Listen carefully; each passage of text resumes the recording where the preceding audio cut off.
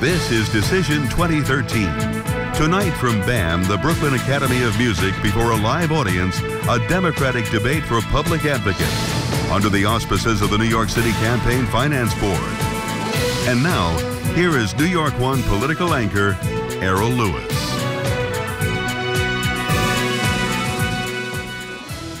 Good evening. Welcome to the first live Democratic primary debate in the race for public advocate. I'm Errol Louis, and I'm joined in tonight's debate here at BAM, the Brooklyn Academy of Music, by Brian Lehrer, the host of WNYC's Brian Lehrer Show, Juan Manuel Benitez, the host of Pura Politica on New York One Noticias, and Courtney Gross, a political reporter for New York One. The next 60 minutes will be an uninterrupted conversation about issues where you will get a chance to learn more about the five Democratic candidates seeking to become our city's next public advocate. First in line in succession to the mayor, the public advocate is the city's chief ombudsman and can also introduce legislation in the city council. The public advocate also makes appointments to key city boards and commissions. Tonight's debate is part of New York City's official debate program for the 2013 elections. It's administered by the Campaign Finance Board. The board runs the city's public matching funds program, which is designed to strengthen the role of average New Yorkers who make small dollar contributions. The CFB selects partners to bring these debates to New Yorkers, and tonight's debate is sponsored by New York One News, New York One Noticias, the Citizens Union of the City of New York, the Hispanic Federation, the Citizens Committee for New York City, Gothamist, Transportation Alternatives, WNYC, and Time Warner Cable. So without further ado, let's introduce the five candidates. They are Sidique Wai, Letitia James, Reshma Saujani, Cathy Guerriero, and Daniel Squadron. These candidates will generally have one minute to respond to questions and will also be given an opportunity to respond if they are addressed directly by an opponent. We'll also have what we call a cross examination, where each candidate will be able to ask one opponent a question. There will also be, of course, a lightning round in the middle of the debate in which candidates will be allowed to answer only yes or no to each question. And the candidates will also have 30 second closing statements. Be sure to tweet at us during this debate. You can use the hashtag PubAd PUBADV 2013. PUBADV 2013. So with that, we are ready to begin. By random selection, we have determined that Sidique Wai will get the first question, and that will come from Brian Lehrer. Thanks, Errol. Well, as Errol noted, the office that you're seeking is one with limited power and limited resources, but I think it's also one that can make a real difference on a few issues that you can choose uh, that you choose to focus on. So I wonder which of you can really make our viewers and listeners care enough to vote. In one minute each, tell us how you, as public advocate, would make New York a better place. Mr. Wai. Thank you, Brian, and thank you for sponsoring uh, New York One for sponsoring this debate. The job of the public advocate is an extremely important job. Uh, other than people like Mark Green, who actually set the pace for that office really doing something, I seek to take in the office of public advocate as a real office that is inclusive, an office that will work for the people who have been left out of the city, an office that will be there to bring people together. And I would do it on the basis of my three principles. And that is the ACT principle A standing for accountability, C standing for collaboration, and T standing for transparency. There's so many things that happen in the city. Too many people have been left out. There's two cities in the hill. I want to make sure that we have one New York where all races, all communities, gender, sex, could work in the city and make this place a better place to live. Thank you. Ms. James.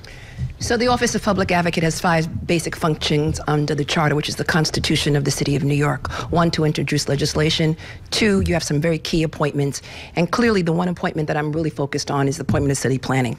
Unfortunately, in this district, and I welcome all of you to my district, there's a significant number of people who are being displaced as a result of the, the high, rising rents. There's growing income indispar- growing income inequality in the City of New York. There's a significant number of individuals who can no longer survive in the City of New York. So it's really important that as the next public advocate, that on city planning, we really should focus on the crisis in affordable housing and ensure that there is more housing for low and moderate income people in the city of New York, including the fact that tonight 52,000 individuals are homeless, most of them children, and that it's unacceptable in, in our democracy. Thank you. Ms. Saujani. Thank you. I want to thank New York One and the partners and my husband for being here tonight. Um, I've been the deputy public advocate And I've been very clear, I want to reinvent this office. In April, I, I put forth a reorg of that office. I want to have four deputy public advocates a public advocate for housing, for jobs, for education, and for women. We have a jobs crisis in our city. Many people can't find work, and we need to retrain our workforce to get them jobs in the 21st century. And I've already started doing that. In education, through my program, Girls Who Code, we've seen what is possible when we teach young girls, and we get them untrapped in technology. I want to put computer science education in every single public school. When it comes to housing, our landlord tenant courts are a mess. I will build an army of lawyers in my office to represent tenants. And finally, I am an unabashed advocate for women. And right now, we have the feminization of poverty in our city. Latina women are making 60 cents on every dollar. We need to have paid parental leave, affordable daycare, and really close the pay equity gap. The public advocate has to stand up for the most vulnerable, has to be for women, children, immigrants, and seniors. Thank you very much. Ms. Guerriero? Yes. The point of the public advocate's office is to stand in the gap, to say this shall not pass, to say there's more to the story. I run against a set of politicians, and the point is to be outside of the system, to say there's more. Things can be thought of differently. We don't come at angles, we don't come at life at angles, we come at life straight. And as the non politician, I think about this office and I say, it's time. It's time to think clearly. It's time to think about the working class and the working poor and the middle class who've been excised from power from their own lives. I'm a mother and a wife and an educator, and I stand in the gap for those voices unheard. I think about this office very differently because, in fact, I am different. And Mr. Squadron. Thank you. Thank you for the question, and thank all of you for being here and tuning in. You know, the public advocate has the potential to play a vital role in our city.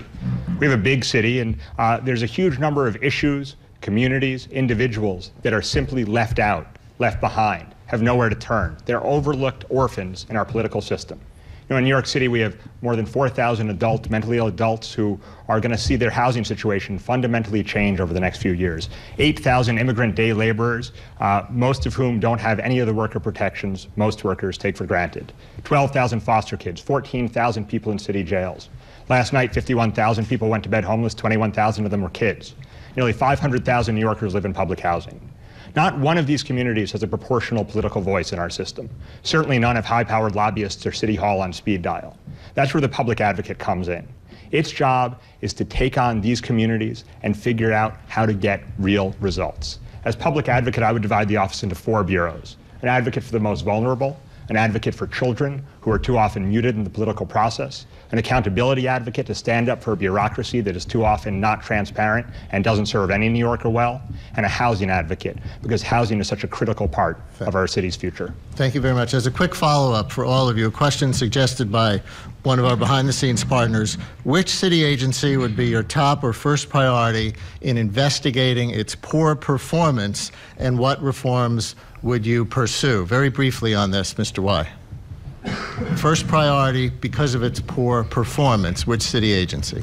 Well, I would first of all start with my own agency because my principle of act, accountability, transparency, uh, collaboration, and transparency, rather than investigating them, I would make sure that the NYPD comes together with civil society to sit down and fix this question of question of stop, question of frisk. I am the only candidate on this podium and in this city who has the credibility to bring people together to be able to work together on this very, very troubling public safety Ms. issue. James, which city agency? Department of Education. The results that came most recently in regards to Common Core suggest that we have a problem in the Department of Education. As opposed to teaching to the test, what we need is a full rounded basic education for individuals. We need to provide arts and culture, and we need to make sure that teachers are respected in the city of New York. And, we, and unfortunately, under this administration, he has single handedly dismantled education in the city of New York. Ms. Saujani, which agency first? Department of Education. You know, we have to really look at the fact that we are closing schools in the poorest of neighborhoods, that 60% of our ELL students aren't graduating from public school, that the majority of our kids are going to CUNY have to take remedial classes, that we are not teaching our kids anything that is preparing them for the future. Instead of having a political debate about education in this city, let's start teaching our kids something that they can go out and get jobs. And that's exactly what I've done as the founder of Girls Who Code. All right. Ms. Guerriero? As the lone educator in this race. And as a mother, I know this 12 years of mayoral control has been an abject failure on the backs of the New York City public school children. Every single stakeholder, everyone who's got skin in the game, has been removed from power parents, teachers, principals, community activists. We need to aggressively pursue, and as somebody who is in fact expert in this, aggressively pursue a reduction and a change in the law so the power goes back on the ground where it belongs. Mr. Squadron, which agency? Well, I try to do two Department of Correction and NYCHA. You know, we have a crisis in our city jails. Uh, the use of solitary confinement is increasing, while in many less progressive places all around the country it's decreasing. Uh, uh, the uh, violence in the jails is being underreported. There's a jail full of teenagers who haven't been convicted of felonies for the most part, where the kids have been deputized to keep order and safety. Someone has to look at that, and no one is, and that's why the public advocate is here. And NYCHA, the idea of a more than 300, uh, 300 day wait list to get your apartment fixed, that would never stand in the private housing market, and it shouldn't stand in public housing either. Thank you all for your responses. Errol? I've got, I've got a follow up, um, slightly different. Uh, the public advocate has the ability to introduce legislation in the city council. Um, in three and a half months, if you are elected, let's give you a day off to, to celebrate uh, the day that you get sworn in, but then you've got to get to work. And um, what would be your number one legislative priority and why? Let's go quickly, Mr. Wai. The first and most important legislation I look at this city, there are a lot of people hemorrhaging, don't have jobs. I will introduce a major reform bill dealing with bringing manufacturing in the city of New York. There are too many jobs.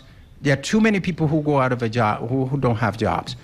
In New York City in 2010, you lost, we lost over 200,000 manufacturing jobs. So I will make sure that all of these billions of dollars of city contracts that are given to people, that we look at reforming that conditionalizing it to making sure that if somebody is coming to displace mom and pop operations in the city or in the communities that there is that community conscience so that people just don't come and take the money and run. Because we've seen too many of that and leaving people with nothing. And i will insist that these people who have corporate welfare that that corporate welfare is now going to be turned into community conscience welfare so that the people themselves who live in that community could be able to uh, earn a better living and keep their family food on the table. Thank you, Ms. James. I would work with the mayor of the city of New York to ensure that all municipal contracts in the city of New York are negotiated, that individuals who unfortunately work for the city of New York who have gotten gone without a raise and gone without a contract under this administration are given their fair due. It's really critically important that we respect municipal workers, that we cease and desist from outsourcing municipal services in the city of New York, and that we do it in a respectful manner and recognize that city workers are not the villain in the city of New York. It's actually Wall Street, who unfortunately unfortunately has gone undetected and undisciplined and unprosecuted. Ms. Saujani, your legislation. Paid parental leave. You know, in 1976, 18% of women worked and had children. That number is 86% today, but we have absolutely not changed any structures to make it possible for women to do that. The United States is one of three nations, Swaziland and Liberia, that doesn't have paid leave. That is embarrassing. There was just a study that came out that said the majority of breadwinners are now women. And they're often single women who can barely put food on the table. So I would introduce paid parental leave because we need an advocate who is going to fight for women. And I've already started doing that two weeks ago when I launched my project Up to Us to change the conversation from scandal to substance, to say that it is enough and that we need an advocate who is going to stand up for women, who are going to fight for the issues that affect women. And I will do that because I've already done that. Thank you. Ms. Guerriero. I'm going to focus hard on those union contracts not negotiated in good faith. As the unequivocal union candidate in this in this race, 47 unions and counting, the cops and the firemen and the EMS and the EMTs and the trades and the longshoremen and on and on and on have said what I know that the the horror of New York City not negotiating with its unions one, two, three, four years is outrageous. And the public advocate, I, will stand in the gap and say, we've had enough. I have a proposal to give the community education councils more of a partnership with the public advocate and the borough presidents because these are the parents' voices in our schools, which really have been muted and don't have the role they should in public schools. My wife, who's here today, and I have a two year old. He's going to go to public school, and if we're told we have no role in his education, we will pull our hair out. I would introduce legislation to help community education councils and the public advocate get together to increase parents' voices, school by school, neighborhood by neighborhood, but also citywide. Thank you. And now we're going to hear from uh, Juan Manuel Benitez. Thank you, Errol. And uh, few people know, but uh, if uh, the mayor dies, uh, you would be basically the mayor and you will have to govern for up to two months until a new election is held. So it would be a really difficult time, a time of a major crisis in the city. What would be the first action you take? And do you think you're qualified to be mayor of New York City? Ms. James. I'm a former public defender, a former assistant attorney general, a former counsel in the state legislature, and have served in the city council now for not, for 10 years. I've gone up against special interests in the borough of Brooklyn and throughout the city of New York. I recognize that I have been a thorn to uh, bureaucracy and those who, who represent the elite and throughout the city of New York. And it's really critically important that we have a public advocate who represents the voices of all New Yorkers, those who have been ignored and have not been part of the discussion in New York City. And clearly, given all of those qualifications, given all of that experience, given a record of accomplishment, and the fact that I've been a fearless and, tire, and tireless advocate in the city of New York, I am uniquely qualified to be the mayor of the city of New York for two months. And the first action that you would take? The first action that I would take, obviously, is focusing on the crisis in affordable housing in the city of New York and the fact that a significant number of women have been deceived by reproductive clinics in the city of New York, and the Department of Education, unfortunately, has failed our children. Thank you. Ms. Saujani, are you ready? I am ready. Um, I think one of the things that distinguishes me from the other uh, candidates on this stage is I've been an executive. I've built something from scratch. When Bill asked me, when Bill de Blasio asked me to take over the Fund for Public Advocacy, there was nothing there. And I built the Fund for, Fund for Public Advocacy from scratch. I raised almost an additional million dollars of programming.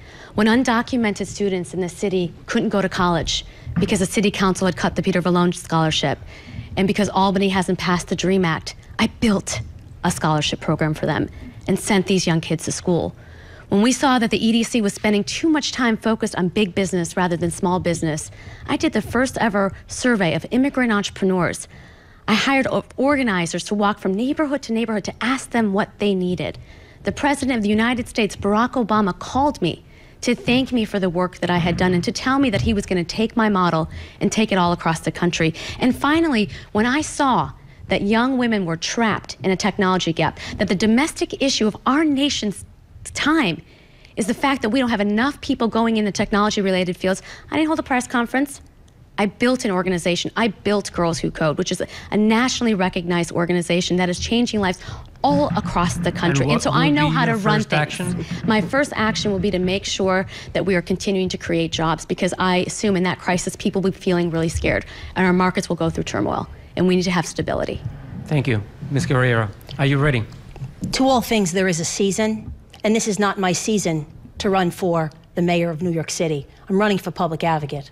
I will be the next public advocate. And my first job, if and when something like, like you described happened, will be to let the city know that I will be a steward in these few months and hand the job back over to the next mayor, whomever he or she might be. But I am uniquely qualified, as I mentioned, to be the public advocate. I worked for the Archdiocese of New York for 10 years. I was the director of planning, the director of the papal visit. I know how to do things and get things done. I'm a professor of education policy. I come from a working class background. I come from the working class, three generations of union workers, my family, and the city were built by these unions. They need to be held harmless. I am running and only running to be the next public advocate of New York, of New York City.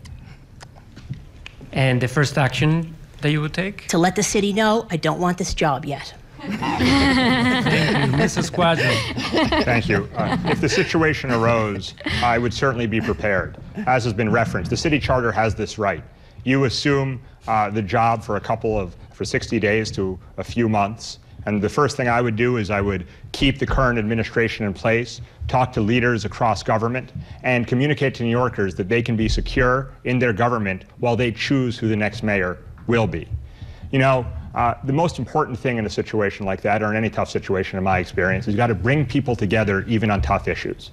You know, when this administration was charging rent to families in homeless shelter, we beat the drum and we got together with advocates, but we also brokered an agreement to end that policy.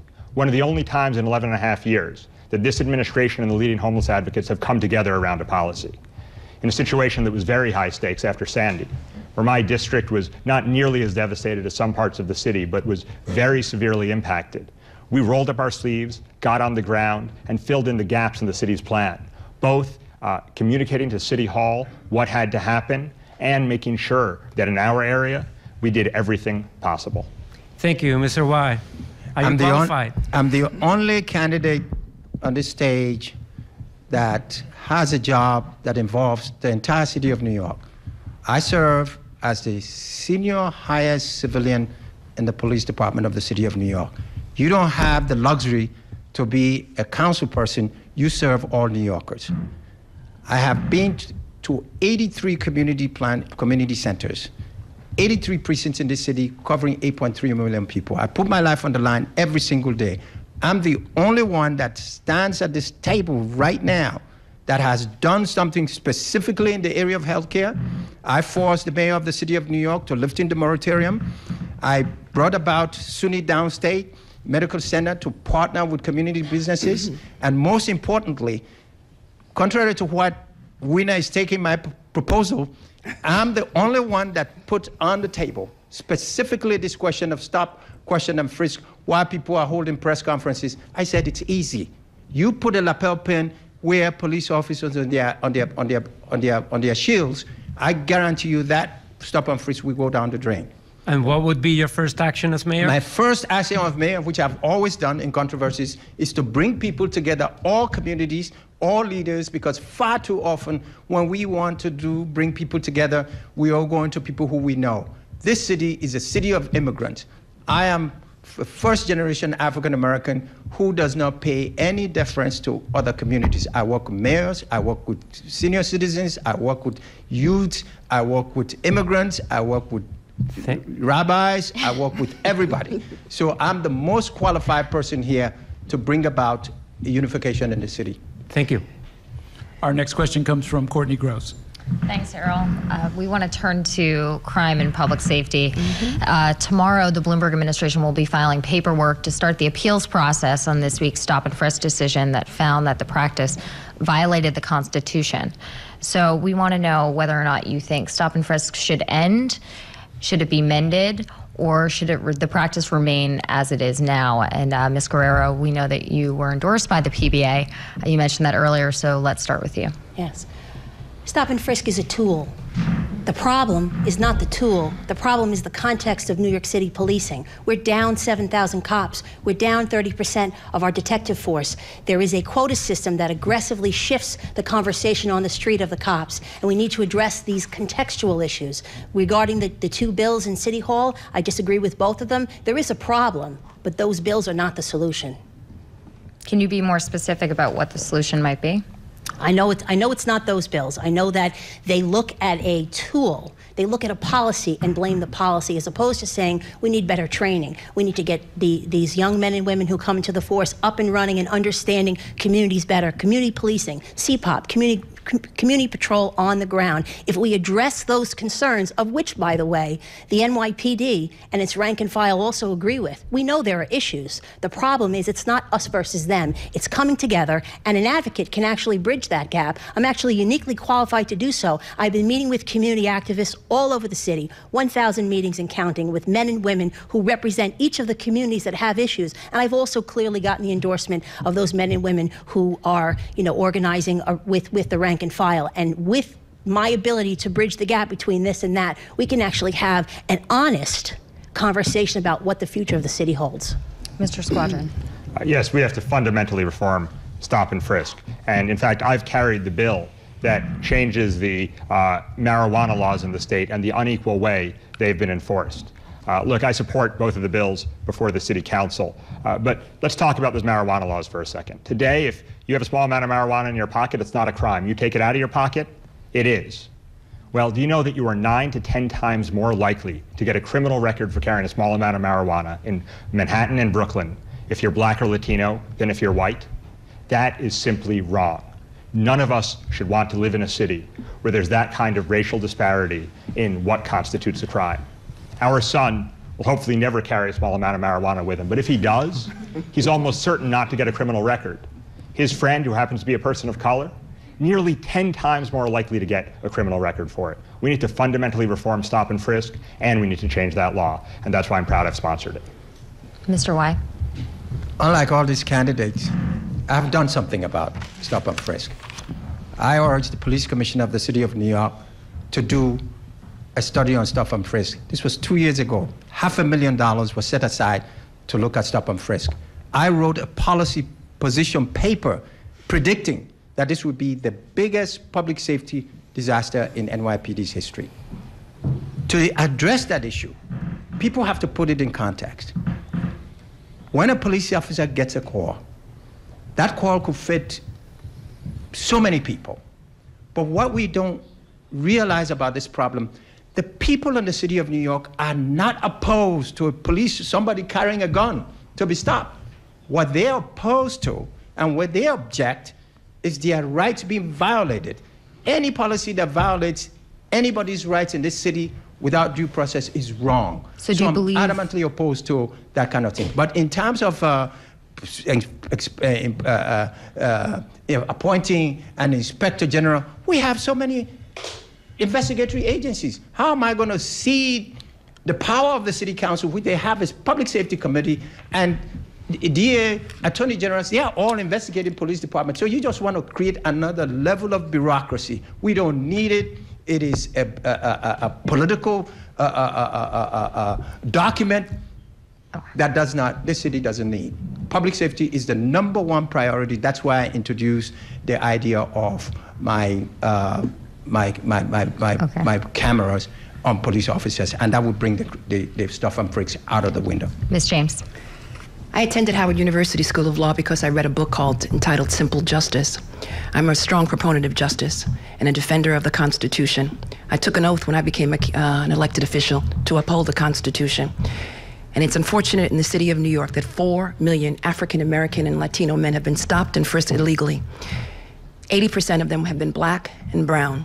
90% of them are totally innocent. They've done absolutely nothing wrong. Unfortunately, stop, question, and frisk in the city of New York has become a perverse rite of passage for little boys of color, and we need to end it. And so I'm a proud co sponsor of the bills, and I look forward to overriding the mayor's veto. In addition to that, I filed an amicus brief in support of the law that was declared unconstitutional, the decision, and um, look forward to joining another brief in opposition to the mayor's appeal on the Floyd case. I predicted that, in fact, the stop, question, and frisk would be unconstitutional. I advised the mayor, I advised the police commissioner that we, we had to move in a different direction. And the direction is as follows we needed more community policing. What we needed to do is, is become embedded with the gangs because the problem is primarily related to gangs. What we needed to do is increase the number of police officers on our street, hire more individuals who are residents of the city of New York. I was the first member of the city council to put surveillance cameras all in the, my district and has resulted in a number of arrests in my community. In addition to that, we need to ban quotas, and police officers need to fill out these, the forms, the 250s. As a former assistant attorney general, we were in the forefront of this almost 10 years ago, where we investigated stop, question, and, frisk. And obviously, as someone who is very much concerned about this abuse, it needs to end. It has no place in a civil society. And Ms. Saujani. I mean, Cathy, stop and frisk may be a tool, but in New York City, it's a racist tool. And the judge's decision was a vindication of what we all knew that stop and frisk in New York City is racist and it's wrong. And that people are being stopped with absolutely for doing nothing wrong. There's no reasonable suspicion, which is why nine out of 10 stops don't result in any evidence at all. And what is the message that we are sending our young black men and brown men? That they can't walk the streets without being discriminated against? And see, I know what that's like as someone of color. You know, a few days before my eighth grade graduation, when I was 13 years old, I was beaten because of the color of my skin. And as I walked home or got dragged home, bloody and bruised, my mother just looked at me and she cried. But she didn't pick up the phone and call the police because she was scared. You know, my family came here as refugees and and they've always been terrified of that. And so many families here in New York City are terrified of the police. And so the judge's decision gives us an opportunity to have a new era, to build relationships. But as the next public advocate, let me be clear. I will be I will be fighting every single day to make sure that the judge's decision is enforced and we stop stop and frisk in this city because it is racist and wrong as Thank implemented. You. Thank you. Just quickly, I want to give uh, Ms. Guerriero an opportunity, a very quick opportunity, 15 seconds to respond. Right. I, I will let her words speak for themselves. Thanks. Errol? We're up to the uh, cross-examination, where we allow each of the candidates to um, ask a question of one of your opponents. We're going to start with Sidique Wai. Let me, I wanted to pose the question to my good friend, council member.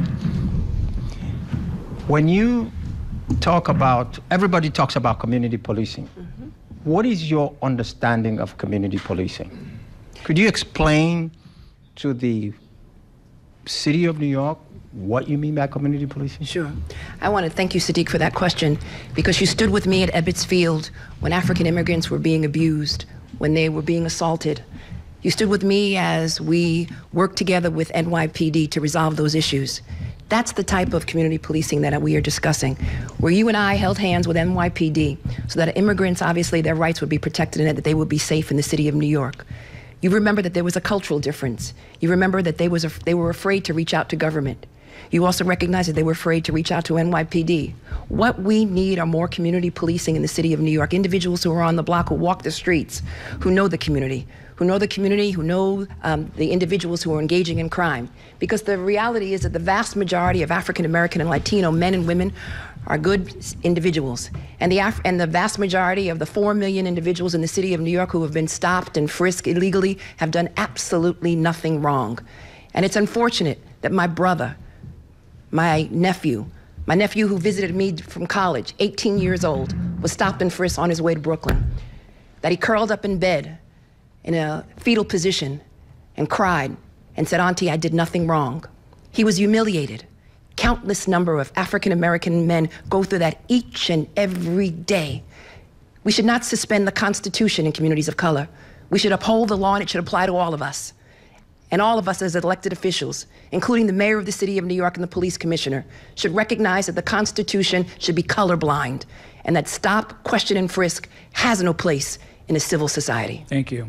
Um, now, you, Councilwoman, get to ask a question of one of your opponents. Sure. The question is to uh, Mr. Senator Daniel Squadron.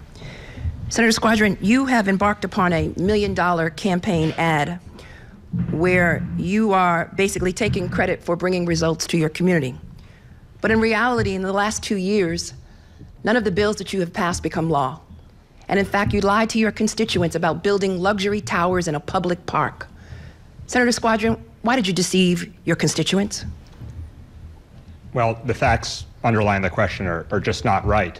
Uh, I have passed uh, more than one bill into law in the last couple of years, and uh, many more than that in my time in office, including a bill that uh, federalizes public housing, which means we get $75 million a year from the federal government to stabilize it when it was going bankrupt because the city and the state had stopped doing their job and funding it passed uh, ethics reform legislation to make it a crime to use your government office to enrich yourself. I passed a bill to create a, a whole new kind of corporation in New York State. But, uh, you know, I think most importantly, uh, to your question, I'm really proud of the work that I've done to combat gun violence. My bill to ban assault weapons in the state became law as part of the SAFE Act, which was passed with Governor Cuomo's leadership and the leadership of so many others across the state. Even before the tragedy in Newtown, I was calling for a special session to deal with the scourge of gun violence. Because as tragic and shocking as Newtown was, and it was, equally tragic and shocking is the daily barrage of, of tragedy that happens on our streets every day. In January, a 16 year old in my district was shot dead walking home from a convenience store. The rumor is it's because folks thought his jacket was cool we need to do something about gun violence. I'm proud of the work I've done, and I'm really proud that Senator Schumer has endorsed me in this race and uh, has been supportive of that effort. And uh, briefly, Mr. Squadron, there was a question in there as well about, I, I believe, Brooklyn Bridge Park. Sure. Uh, thank you. Uh, let's talk about Brooklyn Bridge Park. When I was elected, there was a done deal for Brooklyn Bridge Park that I had a problem with. I thought it was overly reliant on uh, housing at a couple of development sites. So I got in the middle of that and I was able to reduce and delay the housing. But I was able to do something else as well. I got the city to put $65 million into Brooklyn Bridge Park, getting it built more quickly, adding amenities, including a swimming pool that's open today, and I highly recommend you go to with your kids this weekend. And you know, Brooklyn Bridge Park isn't a park unto itself. It's part of what I call a harbor park, a central park in the center of the city linked with Governor's Island, the Queens and North Brooklyn waterfronts, the west side of Manhattan, and a pier on the east side of Manhattan, surrounded entirely by public housing and subsidized housing, where Senator Schumer and I were able to get more than $15 million to make sure that community wasn't left out of what we're doing as we transform the waterfront. Thank you. Reshma Saujani, your question. So I'm trying to ask a simple yes or no question to see if it works. Um, Councilwoman James, yes. have you ever taken a campaign contribution from a developer or their spouse or someone the developer asked to contribute to you while at the same time deciding on a project of theirs. So, Mr. Saujani, I don't think I'll take any ethics lesson from a Wall Street lawyer who hired a consultant to brush all of her past experience and her past employment on Wall Street. The fact that you worked for hedge funds consistently hedge funds who, in fact, engaged in subprime mortgages, individuals who lost their homes. You, in fact, worked for Wall Street all of your life, and there's no reference to your history on the internet because you hired a consultant paying them $50,000.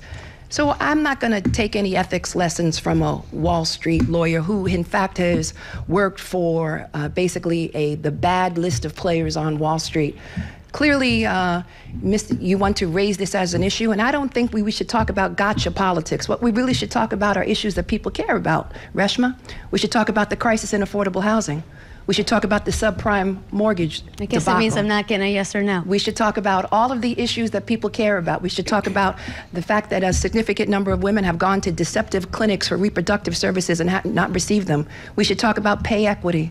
We should talk about health clinics. We, should talk about all of the in initiatives that I created in the city, city council.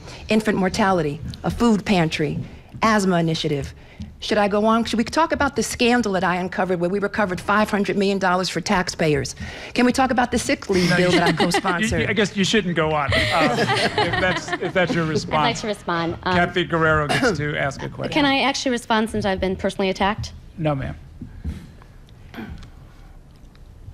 Well, you just saw a preview of what just occurred over the last year. These three fighting in amongst themselves on all, on, on all sorts of small political minutiae, this and that. And while they fight against each other, I have fought for New York City. For the last year and a half of 15 months, I have listened a thousand meetings to the to the residents in Rockaways who said, I need more transportation, to the residents of Bay Ridge who say, Cathy, I uh, take care of this ticket blitz, for Staten Islanders who get eviscerated by that toll, for small business owners, every single neighborhood in New York City, for children in Harlem for children in East New York when parents say, My kingdom for a good school. But the answer to your question, well, they fight in and amongst themselves. I have a question for my friend on the end of the aisle, Sidique, and we are friends. As the other non politician in this race, do you agree with me that the whole point, the aegis of control of the next public advocate should be outside of the rubric of public authority and of political gotcha? Cathy, my answer is absolutely yes. And let me tell you why. When people, all of my colleagues, they are wonderful public servants, but look at the monies that they have raised and look at the people who have given them money. This city is not up for sale. Mm. We need an outsider, complete outsider, who is not going to be beholden to special interest groups, because that's what we see today. Many of these people have what they call legislative initiative funds. The NGOs in this city, in this city, do not get a nickel if you are not part of their political club. And yet the people are providing valuable services in the city. We don't need professional politicians to be a public advocate. They, in fact, it's contradictory. When you are professional politician, you are beholden. When you're an advocate, you're free. So let's look at someone, look at people on this, on these days with all good, good intentions that they have, somebody that is going to has the credibility and the capacity to bring people together to serve all communities, all people, regardless of where they come from, regardless of their status in life, regardless of the kind of money that they have. Too much money has gone to people who are actually trying to get their message. And look at the polls. We haven't even been able to get any of that. We should, we should, we should move away from professional politicians and get peopleticians to be in elected office. Peopleticians. Okay, thank you, Senator. Thank you very much. Uh, this question is for Councilmember James. Yes. Uh, uh, alone among candidates in this race, I don't accept uh, political action committee contributions. I've also offered a pledge to the other candidates in this race uh, to uh, forswear any uh, spe- uh, any uh, independent expenditures.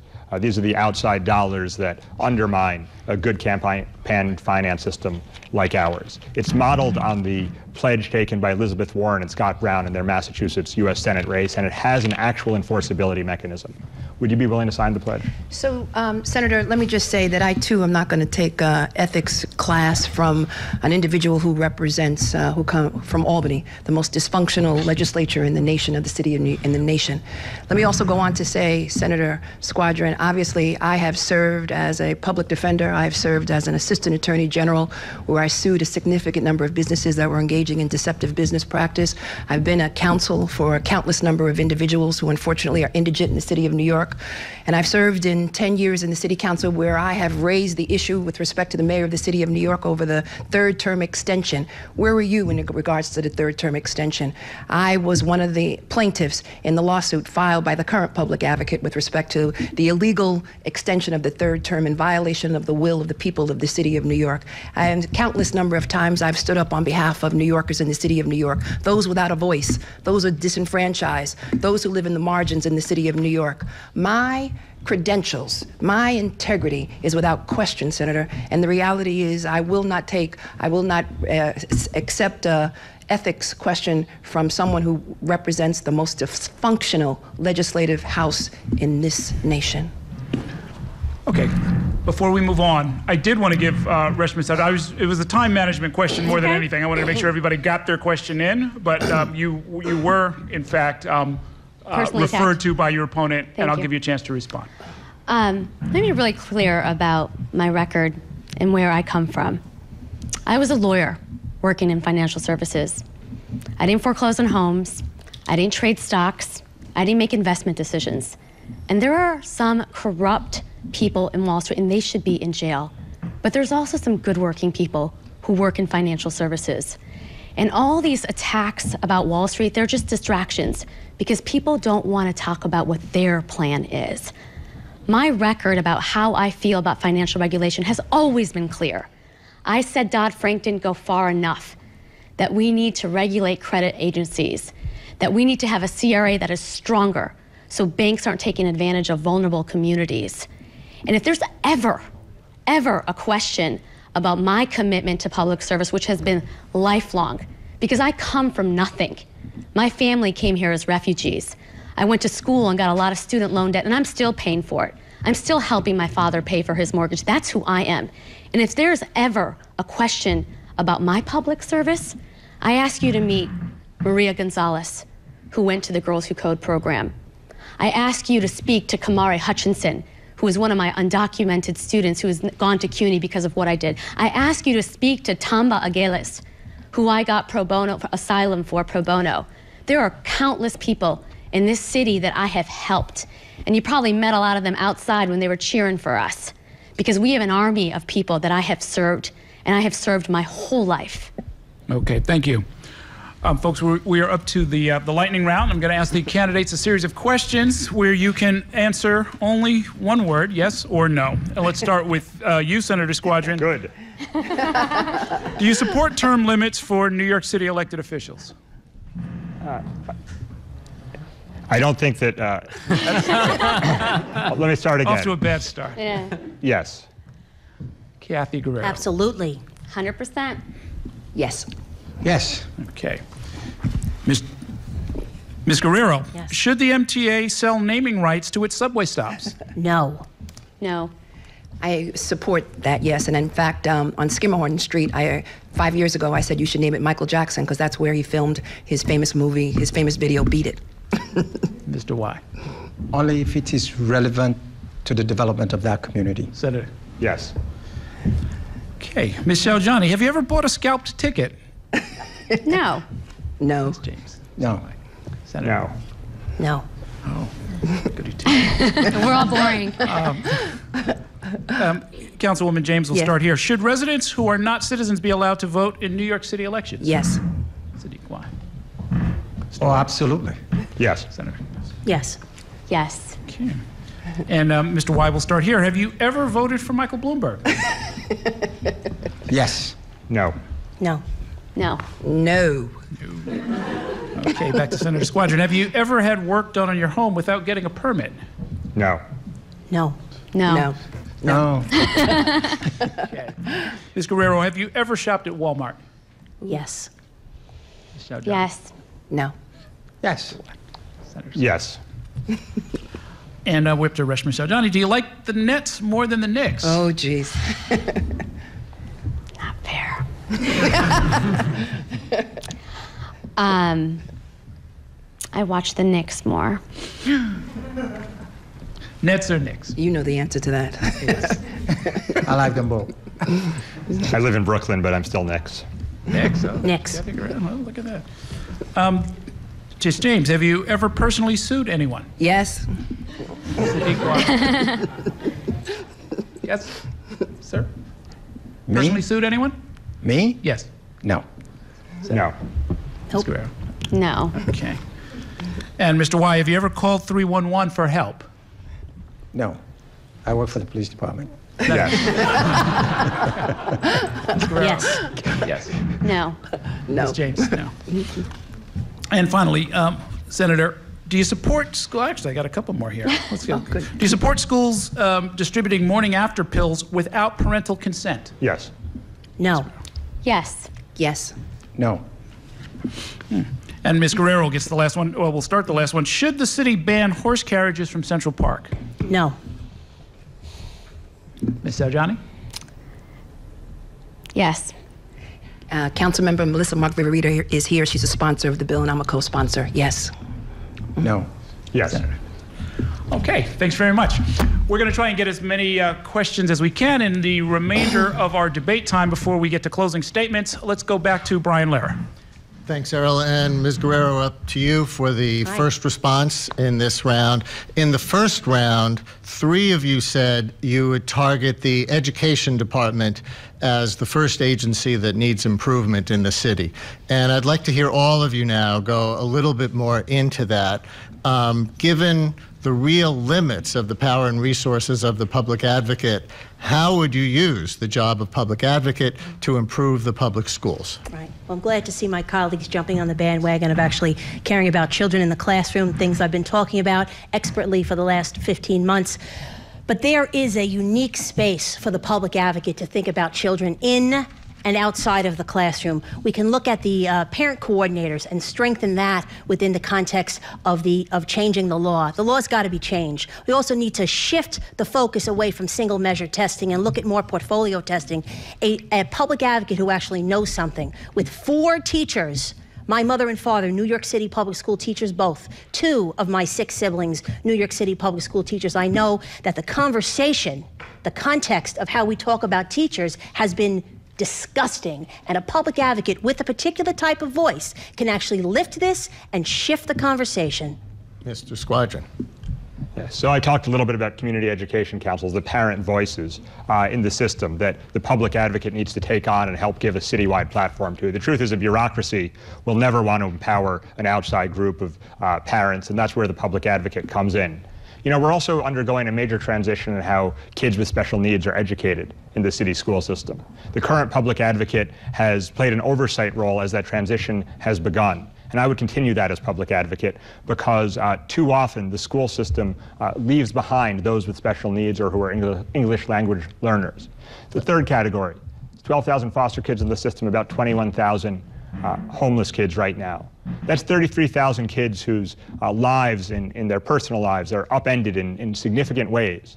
I don't think the school system does enough to make sure that what's happening at home doesn't impact what's happening at school. Thank and I would you, focus Mr. on that Mr. as well. Wai, and forgive me for jumping in, but we need to keep these to under a minute each for time. Mr. Wai.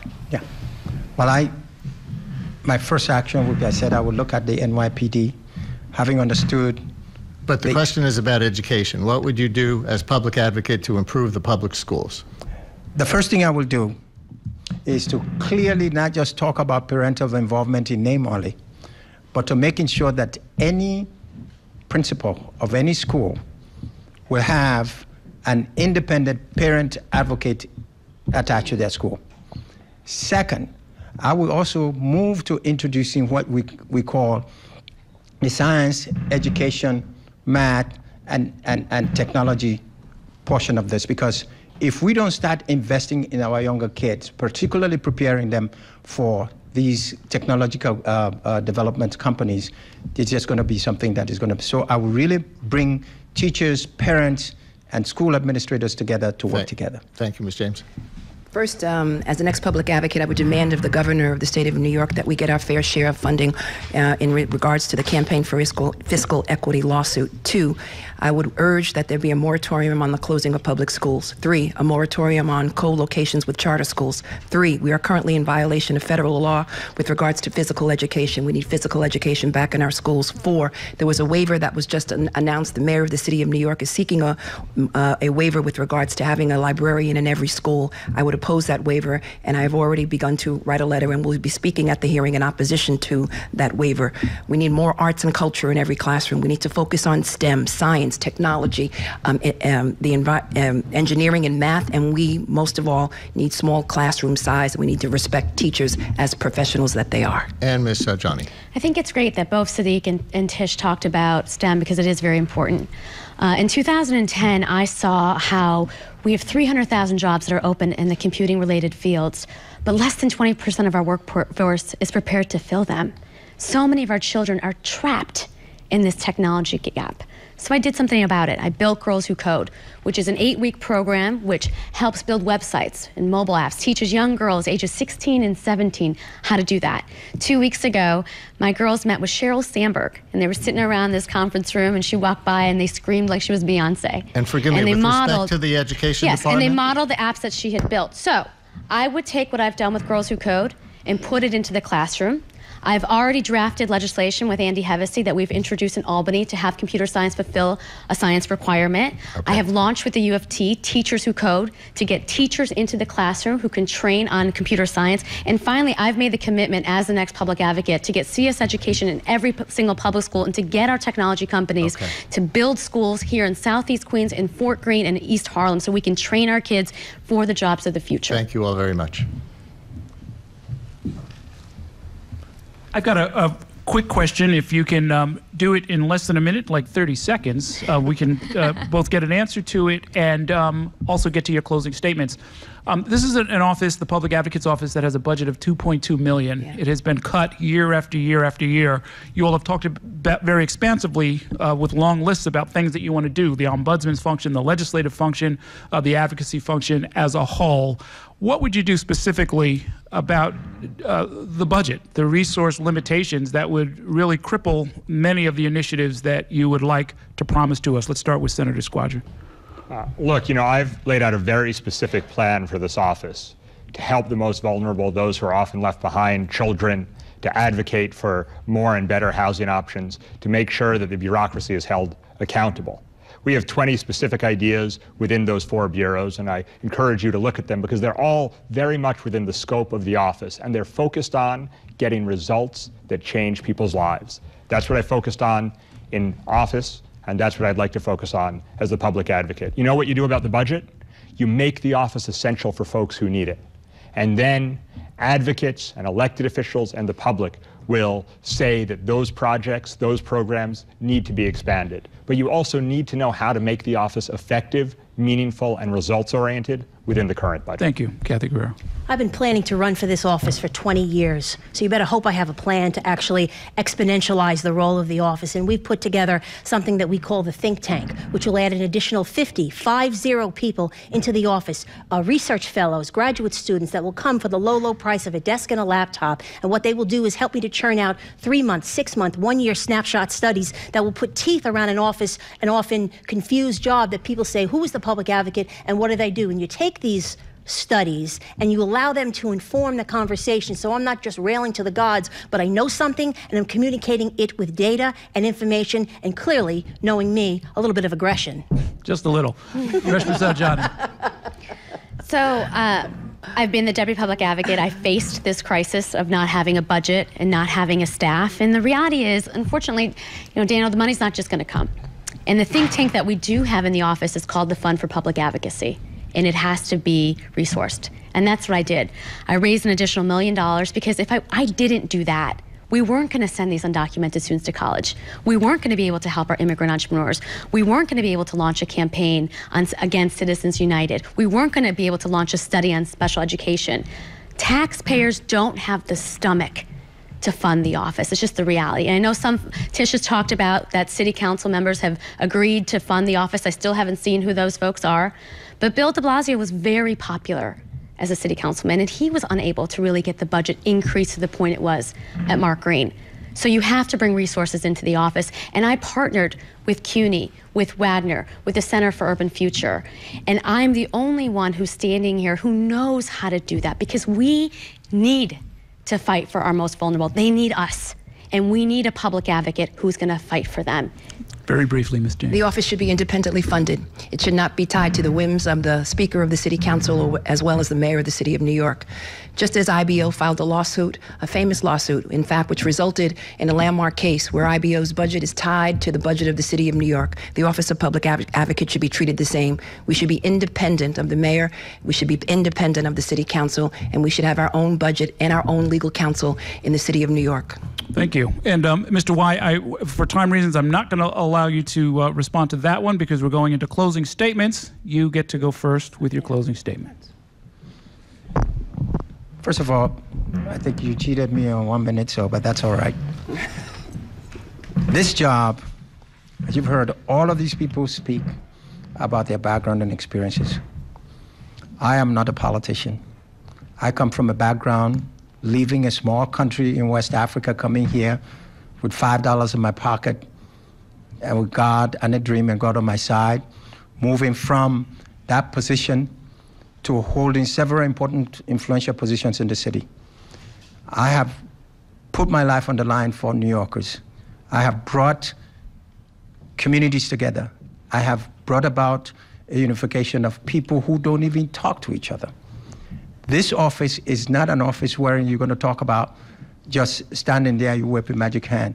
You need to have someone who could bring people together, work together, and understanding the fact that they are all part of New York. There is absolutely unacceptable that a city of immigrants, almost 40% of all the people here are immigrants, yet there is not a single African foreign born in city council, state assembly, the federal government. That's got to change. There is no Muslim, no Muslim practicing Muslim in the city council. Thank you. We got to change that and give religious liberty to people. So I thank you very much. First, let me just say to the family of Bill Lynch, my condolences. I am because he was. And I want to welcome and thank all of you for coming to the district, and I want to thank you for hosting this. I grew up not too far from BAM. I grew up uh, playing stickball and jumping double dutch. My parents come from humble beginnings. My father was a janitor. My mother swept floors. I remember as a young child, my mother took me to criminal court when my brother was falsely arrested. And I remember how the criminal court system transformed my life because everyone in the courtroom did not look like me except for the defendants. And I wanted to change that picture.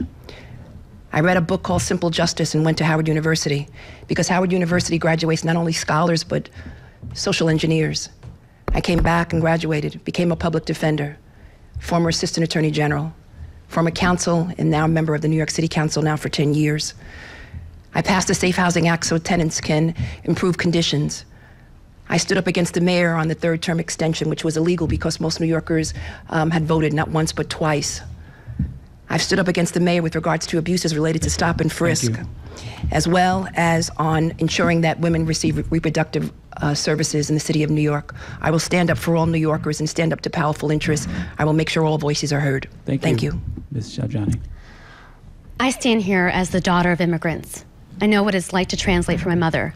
I know what it's like to get an education I can't afford. I know what it's like to send money home every month to my family. We need a public advocate who is going to fight for you, who's going to fight for our most vulnerable women, children, immigrants, seniors, and our vets. And as a deputy public advocate, that's what I did. I created the Dream Fellowship and sent undocumented students to college. I founded Girls Who Code so that our young women aren't going to be trapped in the technology gap.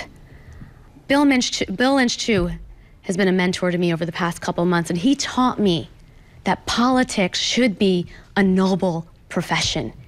We need people desperately right now, especially right now in the mix of all the scandal, who are going to stand up for the right thing, who are going to actually get things done and not just say they do things, but really get things done.